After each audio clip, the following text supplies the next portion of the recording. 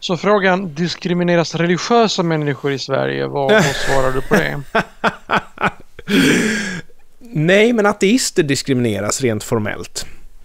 Religiösa människor daltas det med som om de vore förvuxna jättebebisar och i Sverige är det ett enormt problem. Okej, okay, hur diskrimineras ateister?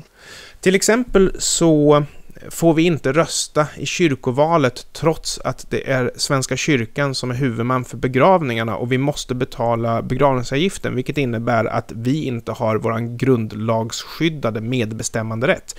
Begravningarna ska antingen vara gratis eller så ska man få rösta. Ett annat exempel skulle kunna vara projektbidrag som inte får sökas av organisationer som inte bedriver gudstjänst.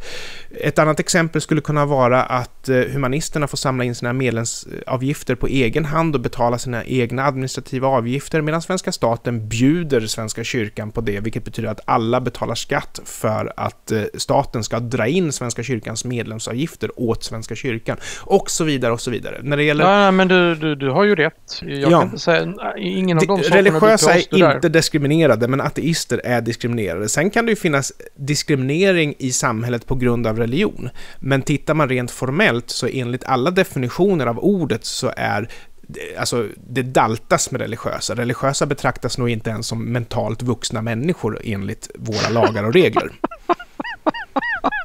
ja, det vet jag inte om jag kan riktigt hålla med dig om. Kan du ge ett exempel där? Hur, hur anses inte en religiös människa vara vuxen enligt våra regler? Ta till exempel när det blev maskeringsförbud på fotbollsmatcher. Mm. Ja, men religiösa skäl måste ju vara ett undantag. Vilket gör att regeln ja, blev tandlös, för då var det men, bara att skylla jo, på religion. men på vilket sätt anses de inte vara vuxna för, på grund av det? Därför att en vuxen person kan antingen ta av sig sin maskering eller stanna hemma. Man behöver inte ha en speciell gräddfil bara för att man råkar vara vidskeplig. Alltså jag håller med dig om att det är dumt.